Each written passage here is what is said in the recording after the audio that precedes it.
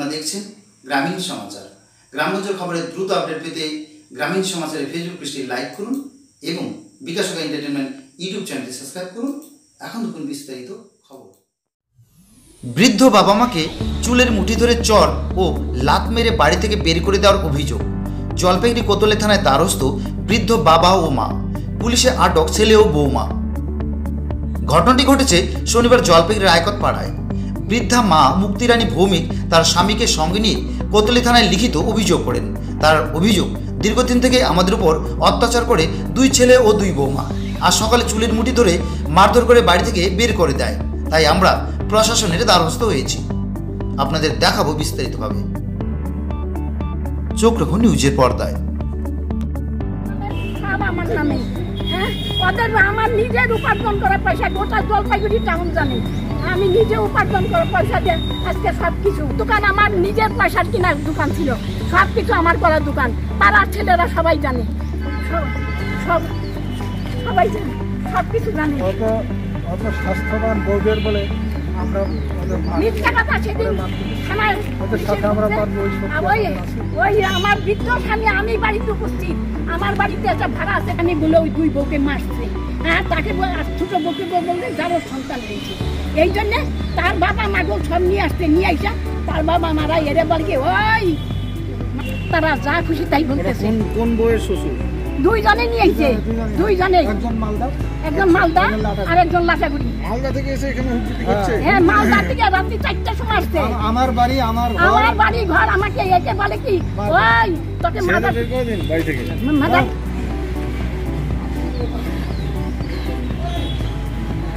তুলসীদার আমার ভাসুর। তুলসীদা আজকে চল্লিশ, পঞ্চাশ বছর যাবত আমি এই রায়পুর পাড়াতে আছি। গোটা জলপাইগুড়ি তখন বলেছি এখন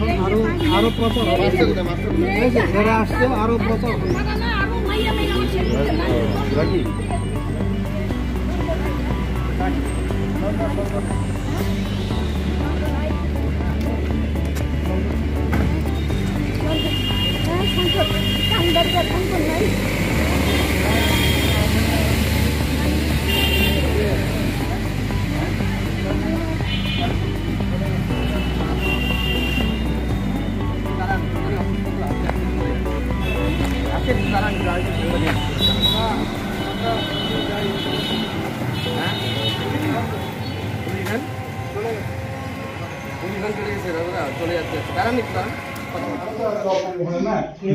লাইটটা দে তো লাইটটা দে তো লাইটগুলো দেখছ। বিকাশগুলো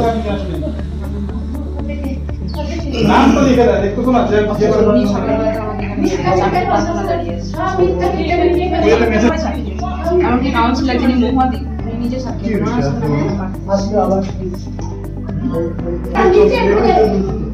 কন্টিনিউ জব হ্যাঁ আপনার ফিজিশিয়ান সেটাকে বলে হ্যাঁ একটু হালকা ছিল। স্যার আজকে ওই যে ভাড়াটিয়া ঘরে ঢুকে যাব ওখানে যাই এই বড় ছেলে। এই আমার এই যে এই আমার আজকে আমার সামনে এরকম করা। আমি কি একটা অবস্থান দত্ত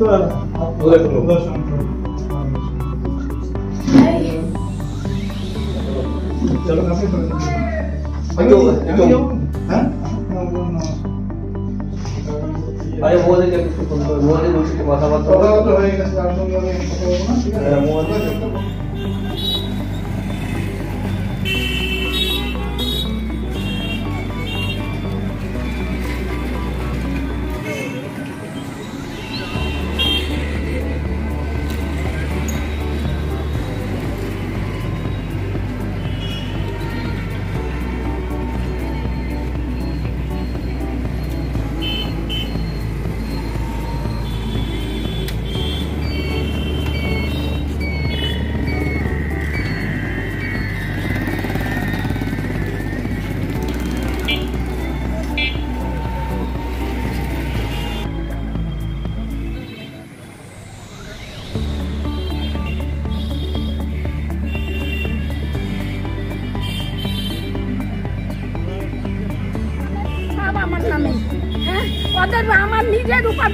পয়সা গোটা জলপাইগুড়ি টাউন জানে। আমি নিজে উপার্জন করে পয়সা দিয়ে আজকে সব কিছু দোকান আমার নিজের পয়সার কেনার দোকান ছিল। সব কিছু আমার করা দোকান। পাড়ার ছেলেরা সবাই জানে। সব- সব সবাই জানে। সব কিছু জানে। অত অত স্বাস্থ্যবান বউদের বলে আমরা মিথ্যা কথা সেদিন আমার ওই আমার বৃদ্ধ স্বামী আমি বাড়িতে উপস্থিত। আমার বাড়িতে একটা ভাড়া আছে আমি বলে ওই দুই বউকে মারছে। হ্যাঁ তাকে ছোটো বউকে বলতে যাব সন্তান হয়েছে। এই জন্যে তার বাবা মাগো সব নিয়ে আসতে নিয়ে আইসা তার বাবা মারা এরে বলকে ওই তারা যা খুশি তাই বলতেছে। কোন বউয়ের শ্বশুর? দুইজনে নিয়ে আইছে। দুইজনে একজন মালদা একজন মালদা আর একজন লাটাগুড়ি মালদা থেকে এসে এখানে করছে? হ্যাঁ মালদা থেকে রাত্রি চারটার সময় আসছে। আমার বাড়ি আমার ঘর। আমার বাড়ি ঘর আমাকে একে বলে কি? ওই তোকে মাদা কদিন বাড়ি থেকে। মাদা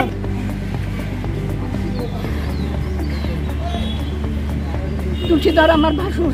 তুলসীদা আজকে চল্লিশ পঞ্চাশ বছর যাবত আমি এই রাইতে তাড়াতে আসি গোটা জলপাইগুড়ি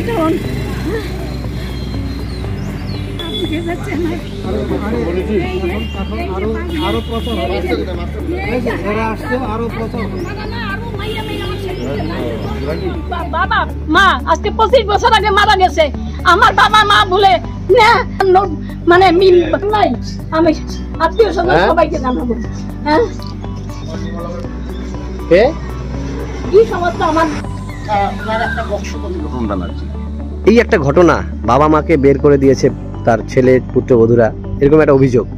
থানার দ্বারস্থ হয়েছেন বৃদ্ধা বাবা মা কি বলবেন?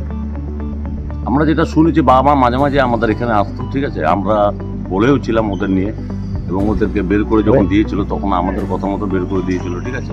তারপর আবার দুই মাস পরে আসলো হাতে পায়ে ধরে আবার ঢুকলো তখন আর আমাদের জানাই তারপর থেকে আমাদের পাড়ার বেশি ইন্টারেস্ট নিচ্ছি না আমরা। কি মনে হচ্ছে কি বলবেন? এই যে একটা এই বয়সে বাবা মাদের উনি তো বরাবরই আমাদের এখানে আসেন আমাদের বলেন ঠিক আছে? আমরা বলি চিন্তা করে নেন বা থানায় যান। হ্যাঁ বিষয়টা কি চোখে দেখছেন? বিষয়টা মানে কার দোষ কার গুণ এটা তো বলা তো মুশকিল আমরা তো পারিবারিক ভিতরে যাইনি। কিন্তু বাবা মাকে এই বয়সে মনে হয় না যে অ্যাডজাস্টমেন্ট ছোট ছেলে সম্বন্ধে যেটা বলো ছোট ছেলে কিন্তু ভালো ছেলে আমরা জানি। খুব ভালো ছেলে। এবং আমাদের এখানে আত্ম দাঁড়াতো গল্প টল্প করতো।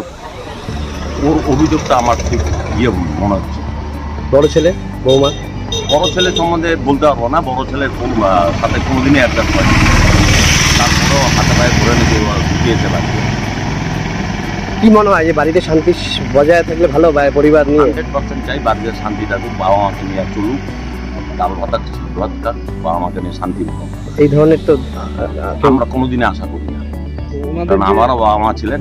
এই ধরনের কোনোদিন আমরা করতে পারি তাদের। ওনাদের একটা অভিযোগ যে মারধর করা হতো এরকম কোনোদিন শুনেছিলেন না? মারধর করা হয় উনি বলেছে কিন্তু আমরা চোখের সামনে দেখি বাড়ির ভেতরের ঘটনা বাড়ির ঘটনা বাড়ির ভেতরের ঘটনা সেটা আমরা বাড়ির মালিক মাল- মালিক এবং মালকানি যেই প্রশাসনের কাছে যে রিপোর্ট দিয়েছে সেই অনুযায়ী প্রশাসন যেটা করবে সেটাই আমরা মানে আমরা নেব সেটা প্রশাসন যেটা করবে সেটাই করবে। আপনাকেও জানিয়েছিল পরিবার তারপরেও? হ্যাঁ জানিয়েছিল তারপরেও যেটা করা হচ্ছে আমরা পুলিশকে ওনারা যখন জানিয়েছে তো পুলিশ যেটা করবে ওনারা যেটা মানে তদন্ত করে যেটা করবে সেটাই ওনারা যা ভালো বুঝবে তাই আপনাদের কাছে এসেছিল তো আগে? হ্যাঁ ওনারা এসেছিল। আপনার নাম আর পরিচয় কাইন্ডলি আমার নাম হচ্ছে দুই নম্বর ওয়ার্ডের আমি মানে মহুয়া দত্ত বন্দ্যোপাধ্যায়। মানে আমাদের সমস্ত কিছু সম্পত্তি প্রপার্টি নিজেরা পরিশ্রম করে সব কিছু করলাম। তারপর এখন এই বাড়ির মধ্যে তোরা থাকতে পারবি না। তোদের এখানে কিছু নাই। সমস্ত আমার রক্ত জল করা পয়সায় তৈরি তৈরি করা সমস্ত আমি করছি। যেহেতু বাড়িটা ওনার নামে এখন আমরা যে দশ পনেরো বছর যে পরিশ্রম করলাম এই যে আমাদের পারিশ্রমিক এইটার কোনো বিনিময় নেই। তোদের আপনার বিরুদ্ধে যেটা অভিযোগ যে আপনারা বাবা মাকে প্রচণ্ড রকম মারধর করছেন তাদেরকে অশ্লীল গালিগালাজ করে আপনারা বাড়ি থেকে তাড়িয়ে দিয়েছেন এবং এই বাড়ির দখল আপনারা নিতে চান। তো আপনি কি বলবেন? এখন ওনারা মিথ্যা কথা বরাবরই বলে যাচ্ছে। এর আগেও বলে গেছে। এর আগে একবার বলাতে গত পাঁচ বছর আগে আমি বউ নিয়ে চলে গেছি বাড়ির থেকে লজ্জায়। পাড়ার লোককে যে একই রকম ভাবে বাজে সিনকেট করতো, শাড়ি ফাড়ি ছিঁড়ে নিয়ে গিয়ে বলতো, এই যে আমাকে উদয় মারছে। এই বাবাই আমাকে মারছে। এই বলাতে আমরা তখন লজ্জাতে কি করছি, এই বাড়ির ছেড়ে চলে গেছি। এইবার আবার পুনরায় আমাদের ওই গাড়িটা তৈরি করা হবে জন্যই আমাদেরকে বলল, তোরা বাড়িতে আয়। তোরা আবার একসাথে আমরা মিলেমিশে থাকবে এবং আমাকে একটা মিথ্যা প্রতিশ্রুতি দেওয়া আমি আবার সেই মালবাজারে বাড়ি ভাড়া ছিলাম সব কিছু ছেড়ে সমস্ত জিনিসপত্র নিয়ে বাসায় এসে উঠি। ওঠার পর আবার এই এক মাস ধরে একই রকম ভাবে অশান্তি শুরু তারপর বাবা মার যে অভিযোগ সেটা কি সমস্তটা ভিত্তিহীন এবং পাড়ার লোক সবাই জানে এবং আমাদের যে কাউন্সিলর উনি সমস্ত ঘটনা জানে কাউন্সিলর প্রচন্ডভাবে ক্ষুব্ধ। তাহলে এখন কি চাচ্ছেন? বাবা মা একসাথে থাকবেন? হ্যাঁ আমি তো নিশ্চয়ই চাই যে সবাই মিলেমিশে আমরা ভালোভাবে থাকি। ওনারা সেটা চাচ্ছে না কেন? আমার সেটাই বক্তব্য। ওনারা শান্তিটা কেন চাইছেন? আপনার নাম? আমার নাম উদয় শঙ্কর। থ্যাংক ইউ ঠিক আছে। আপনার নামটা বলুন। আমার নাম অর্ণব বললাম যে আপনার মা বাবার আপনার বিরুদ্ধে অভিযোগ যে আপনি নাকি আপনারা বাবা মাকে মারধর করছেন অশান্তি করছেন বাড়ি থেকে বের করে দিচ্ছেন সম্পত্তি আত্মসাৎ করার অভিযোগ কি বলবেন? আমার প্রথম বক্তব্য যেটা সেটা হচ্ছে যে মাকে আমরা কেন মারধর করব? এবার মাকে মারধর করব তার মানে নিশ্চয়ই মা আমাদের সাথে কোনো খারাপ বিহেভ করছে। হ্যাঁ? এবার আমার বউকে আজকে সকালে মারা হয়েছে মা নিজে মারছে নিজে হাতে মারছে সেটা মোবাইলে রেকর্ডিংও আছে। হ্যাঁ? তো মা এরকম কেন করছে আমাদের সাথে? আমরা কি প্রবলেম মানে মার কি প্রবলেমটা হচ্ছে আমাদের থেকে? যে মা যে বারবার এরকম করছে আমাদের সাথে কেন? আমরা তো এখনও মাকে নিয়ে একসাথে থাকতে চাই। তো মা সেটা কেন চাচ্ছে না? আমাদের দোষটা কোথায়? সেটা বলুন আমাদেরকে। বিশেষজ্ঞ চিকিৎসক সৌমেন সাহা এবার থেকে প্রতি শুক্রবার বিকেল পাঁচ ঘটিকায় সুলভ মূল্যে রোগী দেখবেন বোয়ালমারি গ্রামীণ চিকিৎসক বিকাশ সরকারের চেম্বারে। যোগাযোগ করুন mobile number nine double zero two triple four seven nine five.